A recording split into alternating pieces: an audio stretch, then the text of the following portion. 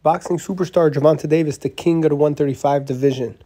He's the best fighter in the division, most dangerous fighter in the division.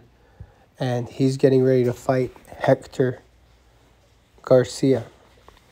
Hector Garcia, undefeated. He's a champ at 130. Hector wants to be the spoiler when it comes to the Ryan Garcia fight. He wants to fight Ryan Garcia and he plans to get in the way. Gervonta Davis, 27 0, 25 knockouts, will do what he can to win the fight. Two great people, very polite, very friendly, very courteous. There's not any trash talk leading into this fight.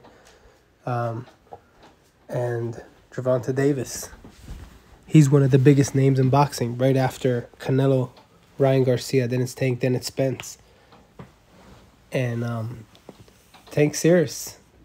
He's very focused. He's good to go. Fights in DC, Showtime pay per view. It's a great, great undercard. I can't wait.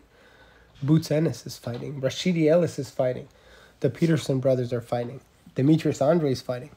I wish every promoter would stack their pay per view cards like this. Like Don King used to do it back in the day. He would put four championship fights on one pay per view card.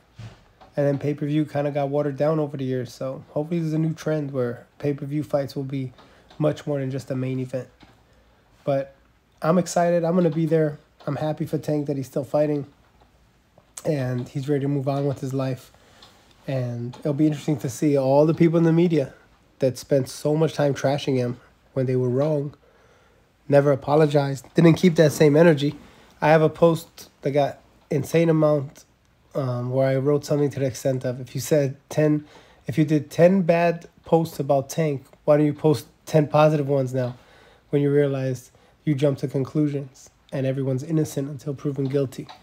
So, obviously, it's going to be interesting to see the dynamic between Tank and these media members that I'm sure when they see him, they won't keep that same energy. Like Errol Spence likes to say, keep that same energy. So, let's see what happens with Tank, Hector Garcia, January 7th in DC will be a movie. Um, I've been uh, pretty much all of Tank's fights except the first couple when he turned pro. But um, Tank is a showman. His ring walks, his outfits, there's everything. Everything's with a purpose. Everything makes you know reason, makes sense after you know it explains what's going on. A lot of celebrities will be there. Tank draws a lot of stars. That's why I think the fight with him and Ryan will break pay per view records. It's just too big of a fight. So first, Hector Garcia and if everything goes well, then it's Ryan Garcia. So stay tuned. We'll keep you guys posted. For ESNewsReporting.com, I'm Ellie Seckbach reporting. You can follow me on Twitter at Seckbach. You can follow me on Instagram at Ellie Seckbach. And you can follow Gervonta at Gervonta with two A's in the end.